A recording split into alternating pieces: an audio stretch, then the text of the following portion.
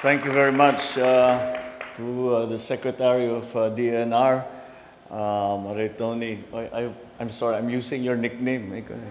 That is what we used to call her when we were children. Uh, uh, Yulo Loyzaga, for your kind introduction. Please uh, take your seat. The uh, Speaker of the House of Representatives, Speaker Martin Romualdez. Lakas ng palakpak din sa mga congressman. Ah. Siguro may linalakad, ka pa, linalakad pa kayo. Tapos na yung budget. Uh, the Secretary of Labor and Employment, Ben- Benny uh, Laguesma. Senator Cynthia Villar, the Excellencies of the uh, Diplomatic Corps, other members of the Cabinet, distinguished guests, ladies and gentlemen, good morning.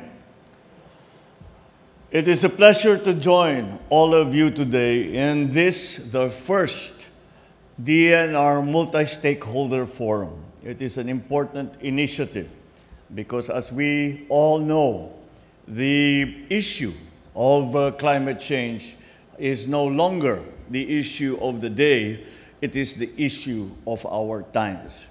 And because of that, it requires the help, the assistance, the understanding of all of the citizens of the Philippines and, for that matter, of the world.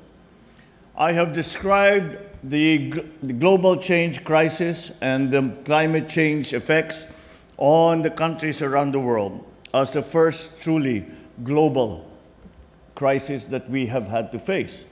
And I describe it as such for the simple reason that every single citizen of the world is affected by climate change.